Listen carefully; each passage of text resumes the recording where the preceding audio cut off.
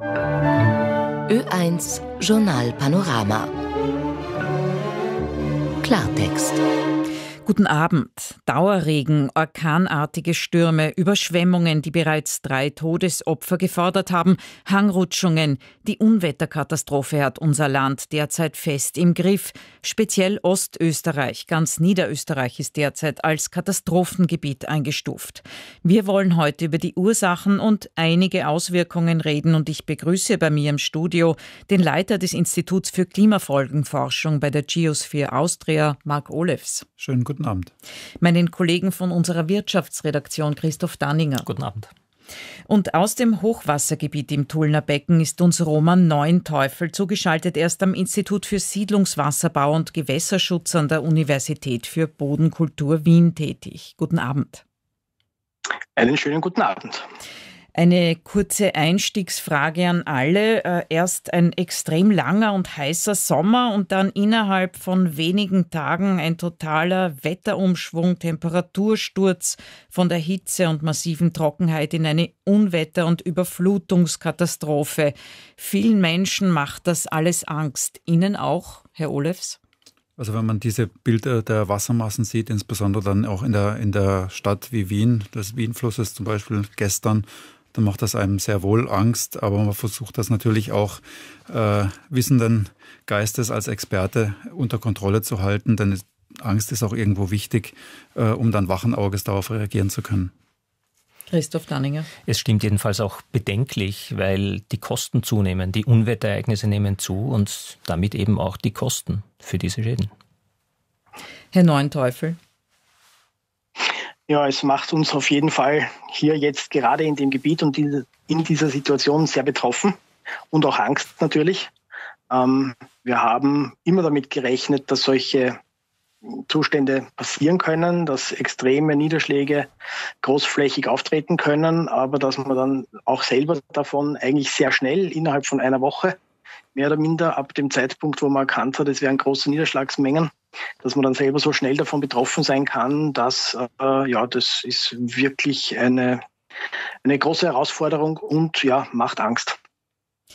Herr Olefs, nicht jede Wetterkatastrophe ist ja eine Folge des Klimawandels, diese aber zumindest teilweise schon, wenn ich richtig informiert bin, weil sich nämlich das Mittelmeer aufgeheizt hat wie noch nie. Können Sie noch einmal kurz erklären, was da jetzt, warum so auf uns niedergegangen ist und niedergeht? Der Klimawandel, die Erderhitzung ist nie der alleinige Grund für solche Katastrophen.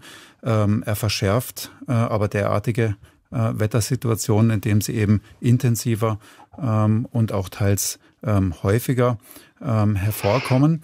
Zwei Dinge muss man hier nennen. Die Erde erhitzt sich ja als Ganzes und das europäische Festland und die daran angrenzenden Meere und Ozeane sind heute um zwei bis drei Grad wärmer im Vergleich zu vorindustrieller Zeit 1850 äh, bis 1900 durch den menschengemachten Eingriff. Das bedeutet, alle Luftmassen, egal ob es die kalten Polaren oder die feucht-warmen mediterranen Luftmassen sind, sind wärmer geworden. Äh, und gesättigte Luft, die pro Grad wärmer ist, kann eben sieben Prozent mehr Wasserdampf pro Grad Erwärmung ähm, aufnehmen. Das heißt, diese Atmosphäre kann als Ganzes mehr Wasserdampf halten. Zudem kommt, dass aufgeheizte Oberflächen eben dieses Wasser auch schneller verdunsten lassen. Der sogenannte Dampfhunger der Luft wächst. Ähm, das bedeutet, dieses Wasser kann einerseits besser und effizienter in die Luft abtransportiert werden und dann in dieser Luft eben auch über größere Strecken weiter transportiert werden. Das sind die beiden äh, Effekte, die wir hauptsächlich hier verschärfend äh, in so einer Wettersituation dem, dem menschengemachten Klimawandel zuschreiben können. Und das ist jetzt plötzlich, also normalerweise kennt man ja vom Sommer, wenn es sehr heiß ist, äh, dann kommen Gewitter. Diesmal aber war das mit einem Temperatursturz verbunden. Es hat ja im Gebirge auch ziemlich heftig geschneit. Gab es da jetzt da noch eine besondere Wetterlage? Warum ist es jetzt so gekommen? Ja, das, die Wetterlage, die jetzt mit dieser aktuellen Flutkatastrophe in Zusammenhang hängt, äh, steht, ist ein sogenanntes 5B-Tief. Das ist einfach eine Klassifikation. Ähm, ist eine Art von Tiefdruckgebiet, die im westlichen Mittelmeer entsteht und dann nordöstlich in Richtung Balkan zieht. Ähm, das Fatale an dieser Wettersituation war, dass sich dann dieses Tief eigentlich über dem Balkan festgesetzt hat und dort fast ortsfest feuchte Luftmassen äh, an den Alpen-Nordrand geschaufelt hat und zu diesen äh, unglaublich extremen Niederschlagsmengen von bis zu 400 Liter pro Quadratmeter, zum Beispiel in St. Pölten oder auch in Langenlebern geführt haben, die ungefähr dem fünfeinhalbfachen einer durchschnittlichen gesamten September-Monatssumme des Niederschlags äh, entsprechen. Viele Menschen in Österreich können sich an so eine Unwetterkatastrophe nicht erinnern. Speziell, dass das jetzt alles so lange dauert und die Regenmengen dadurch so enorm sind. Ist das auch eine Folge des Klimawandels, dass sich die Wetterlage so lange hält? Wir stellen tatsächlich im Sommerhalbjahr fest, dass sich äh, Wetterlagen tendenziell länger halten. Also so wie wenn man einen Föhn oder eine Gießkanne zu lang auf die gleiche Stelle hält, dann äh, wird es zu heiß, beziehungsweise das Wasser geht über. Ob das jetzt auf diese spezifische Wetterlage, auf die aktuelle Wetterlage zutrifft, das muss äh, dezidierte wissenschaftliche Untersuchung jetzt im Nachgang zeigen. Genauso wie groß eben effektiv nachher die Rolle dieser überwärmten Meere äh, in dieser Wettersituation ist. Und wie kann man das dann im Nachhinein noch feststellen? Das macht man mit sogenannten Attributionsstudien. Äh, das heißt, man, äh, man nimmt Wetter- und Klimamodelle zur Hilfe und untersucht praktisch dieses ganze Klimasystem in einer Welt ohne menschengemachten Klimawandel und in einer Welt mit menschengemachten Klimawandel. Das kann man nur bei Ereignissen machen, die auch groß genug sind von der Skala her, dass sie auch reproduziert werden können. Also zum Beispiel mit, mit Hagel oder mit Tornados funktioniert das nicht. Äh, wenn wir sehen, dass die Modelle schaffen, diese tatsächlich beobachteten Ereignisse wirklich wiederzugeben, dann können wir eben diese Experimente machen. Es wurde zum Beispiel bei der Ahrtalflut im Jahr 2021 in Deutschland auch gemacht. Und am Ende hat man dann eine Aussage, äh, inwieweit intensiver oder auch häufiger der menschengemachte Klimawandel so ein Ereignis gemacht hat. Das heißt, Sie würden sich jetzt noch nicht trauen zu sagen, ob unsere Wettersituation, unsere Katastrophe, die derzeit über unser Land hereinbricht, jetzt eine Folge des Klimawandels ist oder nicht? Oder würden Sie sich da schon trauen, das zu sagen? Sie ist definitiv äh, verschärft, also der menschengemachte Klimawandel verschärft definitiv diese Wettersituation, weil kurzzeitiger und auch länger andauernder Extremregen äh, im Klimawandel häufiger wird und alle Luftmassen eben wärmer wird, wie ich es vorhin beschrieben äh, habe. Aber wie, in welchem Ausmaß genau diese Verschärfung jetzt momentan relevant ist, das muss diese Studie eben dann noch zeigen. Wird so etwas jetzt häufiger werden? Erst Trockenheit, dann Überflutungen oder auch umgekehrt? Worauf müssen wir uns in der Zukunft einstellen? Also diese ganz spezifische Wettersituation, dieses sogenannte 5B-Tief, mit dem wir es derzeit zu tun haben, die eben für diese massiven Hochwässer sorgt, die wird nicht unbedingt häufiger werden im Klimawandel, weil sich auch die Strömungssysteme verändern. Aber wir rechnen eben damit, und das sehen wir auch in den Beobachtungen, dass sie intensiver werden. Davon unterscheiden müssen wir ganz klar kleinräumige Unwetter, wie wir es diesen Sommer auch erlebt haben. Stichwort äh, Hollerbrunn, Katastrophengebiet oder auch massive Schäden an der Arlberg-Passstraße. Das waren kleine, äh, kleine Unwetter, sommerliche Gewitter, die im Zusammenhang eben mit Hagel und kurzzeitigen Starkregen stehen die stehen in noch einem viel stärkeren Zusammenhang mit dem Klimawandel und extreme Stundenniederschläge haben sich seit den 80er Jahren um bereits 15 Prozent intensiviert. Ähm, also dort ist der Zusammenhang ganz klar und allgemein bei flächendeckenden Niederschlägen, also bei Tagessummen sehen wir, dass es eine Verschiebung der Niederschlagsintensitäten gibt, in dem Sinne, dass Tage mit hohen bis extremen Niederschlägen um circa 30 Prozent zugenommen haben zu Lasten von Tagen mit sehr schwachen und geringen Niederschlagsmengen seit den 60er Jahren. Also die Extreme nehmen zu. Ähm, danke vorerst, Herr Olefs. Tausende Häuser und ganze Ortschaften sind unter Wasser. Viele tausend Menschen sind unmittelbar betroffen und praktisch alle in der Region indirekt, etwa durch Schulschließungen oder Einschränkungen im Verkehr. Christoph Danninger aus unserer Wirtschaftsredaktion. Im Osten und ganz besonders in Niederösterreich gibt es zahlreiche Straßensperren. Können Sie uns kurz einen Überblick geben, welche Hauptverkehrsverbindungen auf der Straße derzeit betroffen sind und wie lange das noch andauern wird? Insgesamt sind noch rund 250 Straßen gesperrt. Die meisten, wie Sie gesagt haben, in Niederösterreich. Die Autobahnen, also die Südautobahn und die Westautobahn, die gesperrt waren, die sind mittlerweile wieder frei. Äh, es gibt noch eine Sperre auf einer Schnellstraße, auf der S3, der Weinviertler Schnellstraße. Die ist noch an zwei Stellen gesperrt. Allerdings gibt es hier örtliche Umleitungen. Aber es gibt eben viele andere Straßen, die vor allem auch für Pendler wichtig sind, die weiterhin gesperrt sind. Die B1, die Wiener Straße an mehreren Stellen, die B11 in Niederösterreich an mehreren Stellen. Also die meisten Straßensperren gibt es in Niederösterreich, einige auch in der Steiermark, ein paar gar nicht so unwichtige wie die B138, die Bürnpassstraße zwischen Liezen und Spital am Büren oder die B146, die Gesäusestraße im Gesäuse. Wie lange das dauern wird, ist schwer zu sagen. Auf den Autobahnen und Schnellstraßen ist auch der Hochwasserschutz in der Regel so gemacht, dass dort relativ bald, nachdem sich die Situation beruhigt, die Straße wieder freigegeben werden kann. Auf manchen Straßen, wie beispielsweise eben, wenn man jetzt an das Gesäuse denkt, äh, wenn da möglicherweise Vermurungen noch damit verbunden sind, wird das unter Umständen durchaus länger dauern. Aber das hochrangige Straßennetz in Österreich funktioniert. Das ist eigentlich die wichtige Botschaft. Wie schaut das mit der Eisenbahn aus? Welche Strecken sind hier immer noch gesperrt? Insgesamt sind derzeit noch gut 30 Bahnstrecken gesperrt, darunter auch eine der wichtigsten Bahnstrecken in Österreich, nämlich die Westbahn. Die ist zwischen Amstetten bzw. Linz und Wien weiterhin gesperrt.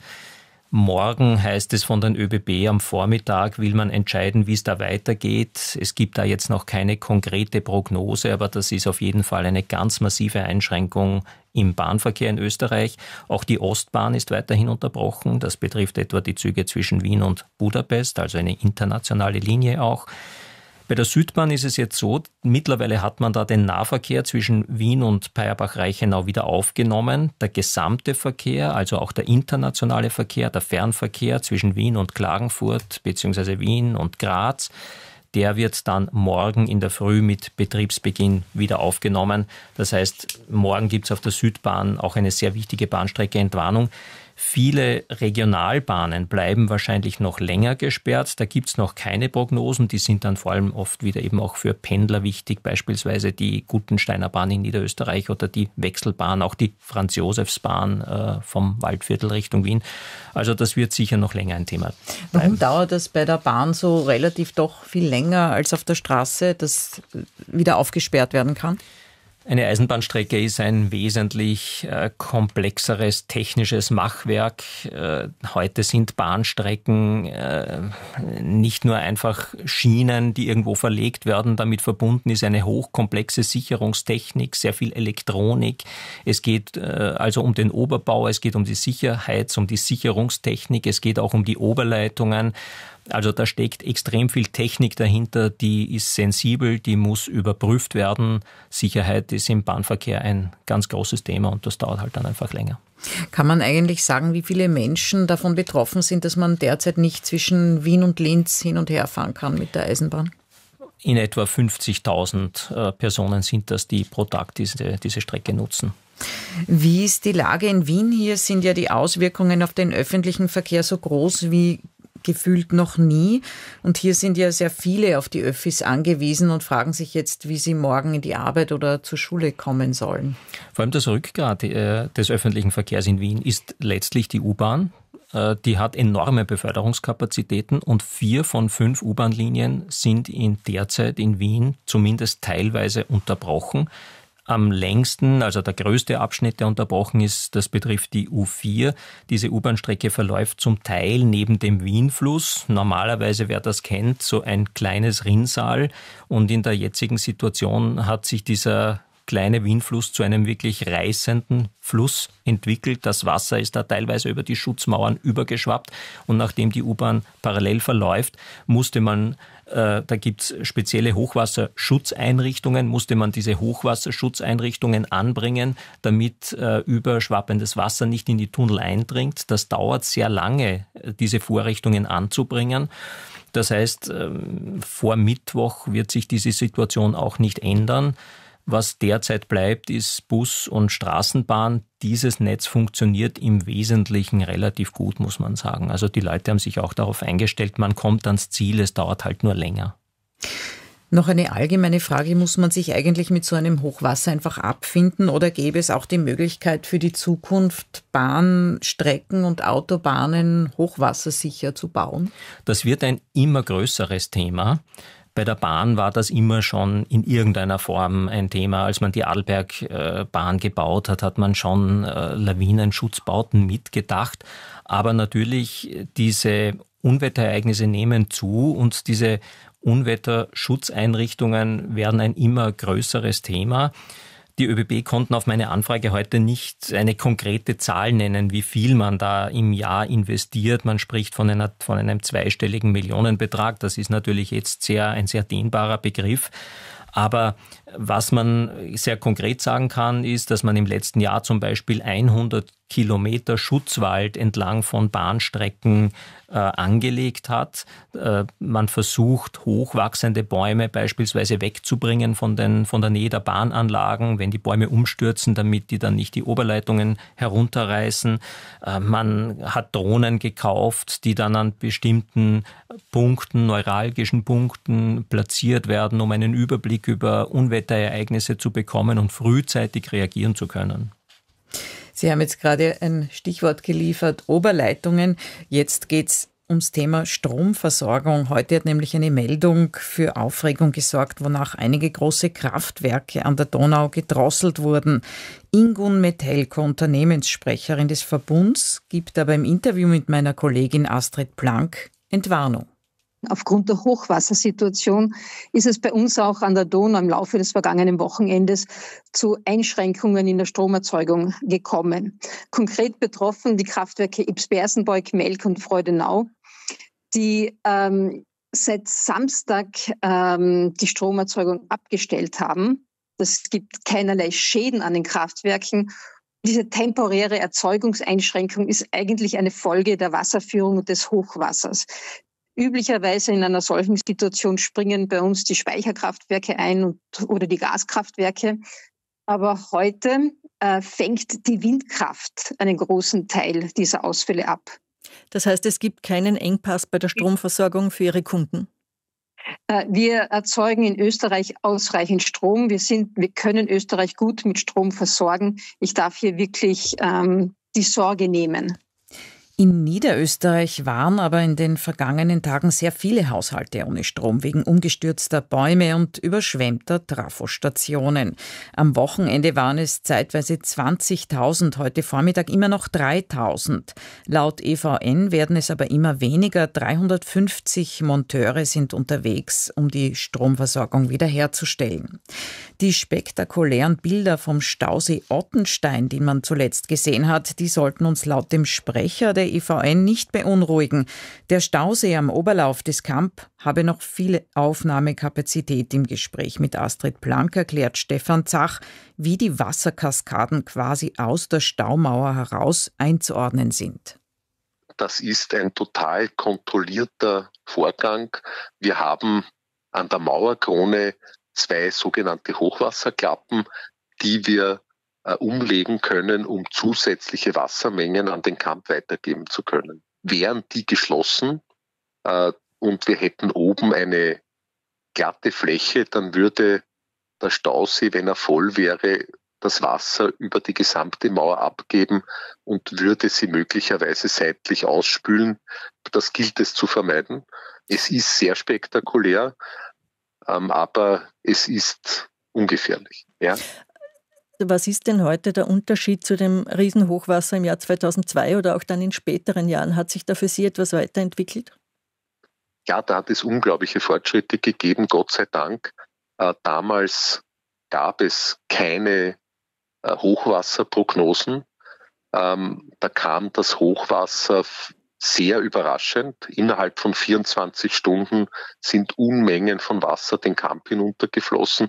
Das war dieses Mal anders. Auf Basis der wirklich guten Prognosemodelle äh, der Hydrologen äh, konnten wir bereits mehrere Tage die Speicher entleeren und Reserven schaffen, damit wir große Wassermengen abfedern können.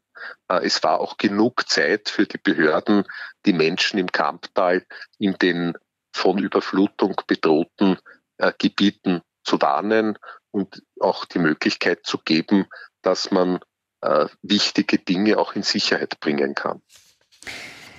Noch also hält der Staudamm auch dank der exakten Wetterprognosen in einem betroffenen Gebiet in Niederösterreich ist derzeit Roman Neunteufel, nämlich im Tullner Feld. Herr Neunteufel, Sie sind nicht nur Wasserexperte an der BOKO, sondern eben Betroffener. Sie befinden sich in Ihrem Wohnort in der Marktgemeinde Michelhausen im Tullner Feld. Das Gebiet steht teilweise unter Wasser.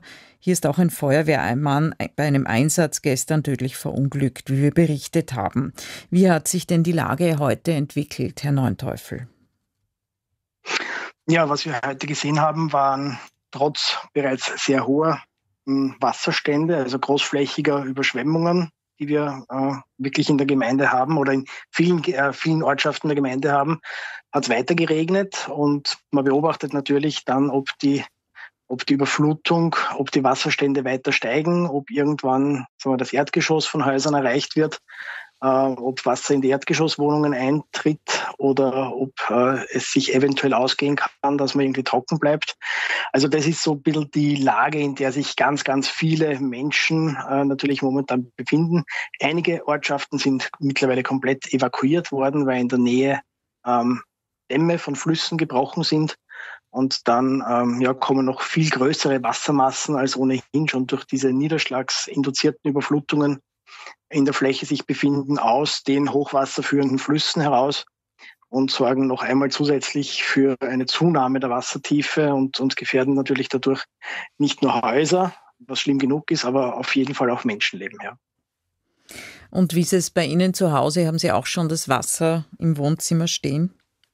Ich habe es nicht im Wohnzimmer stehen, aber ich, ich habe es schon fast auf Armlänge. Also man sieht es schon recht gut. Es, es ist schon direkt auf der Straße vor dem Haus, ähm, steht das Wasser.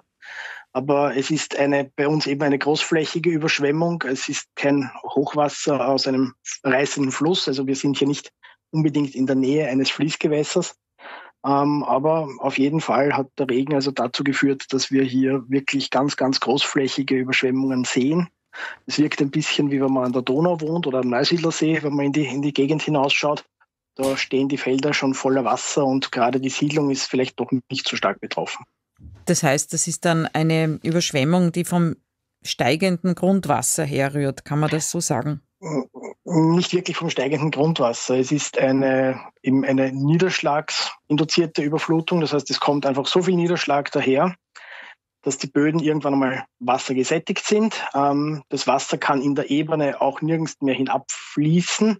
Nicht so wie bei einem Gewitter oder bei einem Starkregenereignis, dass wir also hier kleinräumig, relativ kleinräumig betroffen sind und das Wasser kann irgendwo hinfließen.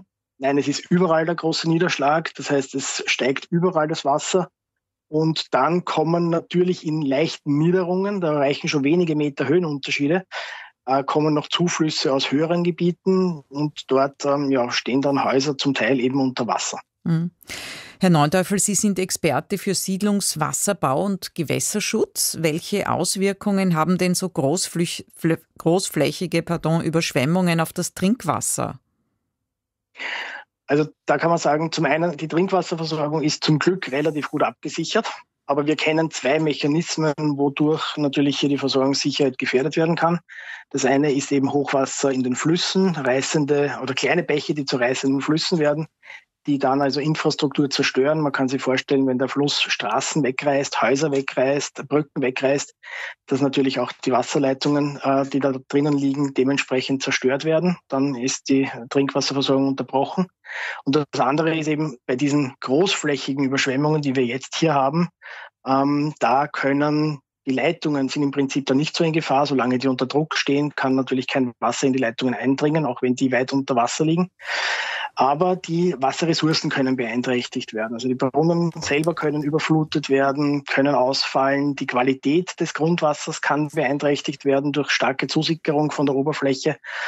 Man, da kann man natürlich, oder das setzen die Wasserversorger die Maßnahmen dagegen, da gibt es Sicherheitsklorierung und so weiter. Und ähm, ja, last not least auch natürlich Stromausfälle sind ein Thema wenn also äh, Wasserpumpen nicht mehr funktionieren. Allerdings hat da die Wasserversorgung in fast allen Fällen sehr gut vorgesorgt, indem es also hier Notstromaggregate und so weiter gibt, beziehungsweise das Wasser in sogenannten Hochbehältern gespeichert ist, ähm, wo es dann noch weiterhin frei äh, zufließen kann mhm. in die Siedlungen und die Wasserversorgung dadurch abgesichert bleibt. Mhm. Wie sieht es denn mit der Abwasserentsorgung aus? Wenn die Kanalisation mit Regenwasser voll ist, kann das dann zum Problem werden? Das kann schon zum Problem werden. Das sehen wir auch derzeit aktuell in der Siedlung. Also wir haben überflutete Straßen in der Siedlung. Natürlich ist dann auch der Kanal voll. Da kann das Abwasser aus den Häusern und Wohnungen nicht mehr gut abfließen. Ähm, Gerade auch bei Stromausfällen äh, gibt es dann Abwasserpumpwerke, die dann vielleicht nicht laufen und dann steht auf einmal das Wasser in den Kanälen, kommt nicht mehr weg und natürlich bleibt dann das Abwasser in den Abflüssen in den Wohnungen stehen und was vielleicht ganz schlimm dazu kommt, ähm, das merken nur die Erdgeschosswohnungen oder die Häuser im Erdgeschoss.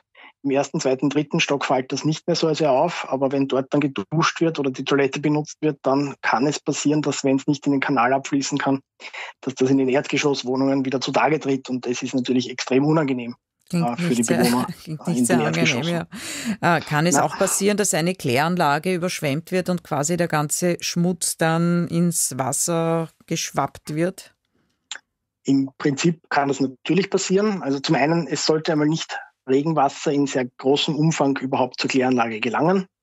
Ähm, wenn es zu viel regnet, dann wird das Regenwasser, man sagt, zu entlastet. Das heißt, diese Mischung Regenwasser und Abwasser bei starken Regenfällen wird nach einiger Zeit ausgeleitet in ein Fließgewässer. Das ist dann schon so stark verdünnt durch die starken Regenfälle, dass es im Prinzip keinen großen Umweltschaden mehr anrichtet. Bei den großflächigen Überschwemmungen kann es aber natürlich sein, dass auch die Kläranlage, auch die Klärbecken tatsächlich überschwemmt werden. Und dann ist es nicht nur so, dass die Kläranlage kurzfristig nicht mehr funktioniert, sondern dann wird auch die, also die Abwasserreinigung ist ein biologischer Prozess. Und dann wird auch die Biologie ausgeschwemmt aus den Klärbecken. Und das ist dann zum einen die direkte Belastung äh, während der Überflutung und dann eine Zeit lang eine eingeschränkte Effizienz bei der Abwasserreinigung, während sich die Kläranlage wieder einarbeiten muss, also die Biologie äh, wieder herangezüchtet werden muss in den mhm. Viel ist ja in letzter Zeit die Rede von Renaturierung. Äh, inwieweit könnte denn die Renaturierung von Flüssen zur Entspannung bei so einer Hochwassersituation beitragen? Also im Prinzip ähm, ja auch wieder zwei, zwei Mechanismen. Schauen wir auf das Hochwasser in den Flüssen. Da würde die Renaturierung auf jeden Fall von sehr großem Vorteil sein, wenn der Fluss wieder mehr Platz hat nicht mehr eingeengt ist in ein schmales Flussbett, äh, wo also bei Hochwasser bis zur Dammkrone äh, das Flussbett gefüllt ist, ähm, dann kann es auch weniger stark oder weniger leicht passieren, dass eben so ein Damm eines Flusses bricht und äh, ja wieder äh, dementsprechend akute Hochwassergefahr herrscht. Und zusätzlich tritt vielleicht gar nicht mehr so ein großes Hochwasser auf, wenn der Fluss wieder mehr Platz hat kann er sich wieder mehr ausbreiten. Aber das ist halt ein großes Problem. Diese Flächen sind natürlich mittlerweile links und rechts der Flüsse alle bewirtschaftet. Und das wird sicher die große Herausforderung werden, diese Flächen dem Fluss wieder zur Verfügung stellen zu können. Mhm. Bei den aktuellen großflächigen niederschlagsinduzierten Überflutungen hat es vielleicht ein bisschen weniger Einfluss. Aber was auf jeden Fall möglich ist, man könnte eine Entlastung in die Flüsse dann mhm. wieder leichter ermöglichen, wenn man also Wasser wirklich aus den, aus den Siedlungsgebieten in die Flüsse pumpen kann. Mhm. Wenn die Flüsse durch Einengung schon so voll sind, ist das schwierig. Wir sind jetzt schon fast am Ende der Diskussion angelangt. Herr Olefs, an Sie noch die Frage, was ziehen Sie denn für Schlussfolgerungen aus diesem Jahrhundert Hochwasser? Ich glaube, man kann es schon so nennen. Was kann man tun, um für solche Katastrophen besser gerüstet zu sein? Ja, drei Dinge, denke ich. Ähm, erstens die Warnung der Behörden und die Handlungsempfehlungen wirklich ernst zu nehmen. Es hat wieder zahlreiche Autofahrerinnen und Autofahrer gegeben, die trotzdem in Unterführungen reingefahren sind. Ähm, zweitens, wir müssen uns noch viel mehr daran anpassen. Das bedeutet Bemessungsgrundlagen, also die Dimensionierung von Schutzbauwerken, aber auch Hochwasserretentionsflächen und Rückhaltebecken müssen angepasst werden. In Reichenau an der Rax, wo wir seit 123 Jahren Wetter und Klima messen, war die maximale Vierter-Tagessumme vor diesem Ereignis äh, knapp 200 Liter pro Quadratmeter. Jetzt sind es über 300 Liter, mehr als 50 Prozent mehr. Das bedeutet, die Schutzmaßnahmen müssen neu dimensioniert werden. Und last but not least, Emissionen müssen runter. Wir müssen klimaneutral werden, weil es einen ganz klaren Zusammenhang gibt zwischen der fossilen Energienutzung und der weiteren Intensivierung dieser Wetterextreme. Das war eine Diskussion über Ursachen und Auswirkungen des Extremwetters. Ab morgen wird sich die Lage laut Prognosen dann endlich wieder entspannen. Ich bedanke mich bei meinen Gästen, dem Trinkwasserexperten Roman Neunteufel, dem Klimaforscher Marc Olev sowie bei meinem Kollegen Christoph Danninger aus der ORF Wirtschaftsredaktion. Morgen holen wir dann die ursprünglich für heute geplante Sendung nach. Da geht es um ein Flüchtlingslager, das Italien in Albanien gebaut hat.